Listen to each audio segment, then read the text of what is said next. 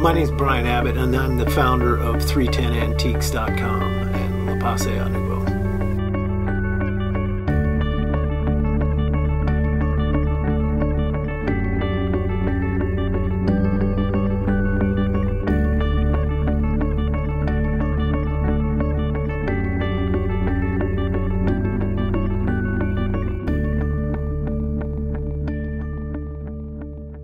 The first collectible that I bought um, that and I had profited and bought small items here and there um, when I was a kid, probably starting at 11, 12 years old, 13 years old, that kind of thing.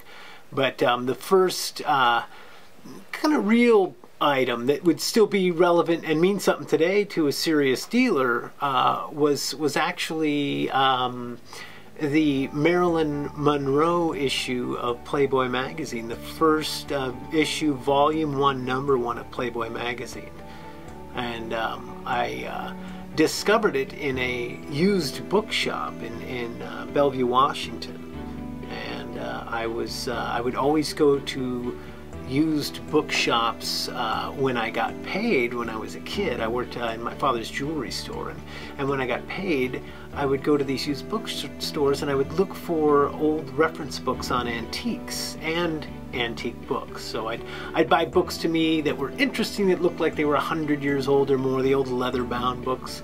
Um, but I would also buy reference books that that that uh, had information about subjects that I was interested in, so that I could learn more about that subject and uh, apply it to buying and selling. So it had a price on it, and um, and I'm I have trouble recalling for sure, but I think it was about five hundred dollars. So they weren't giving it away, and this was in the um, probably the early 1980s, um, and. Uh, I went back and met with my father and I said, hey, I, I saw something that I think is valuable. We agreed to a profit sharing split um, in order for him to loan me the money.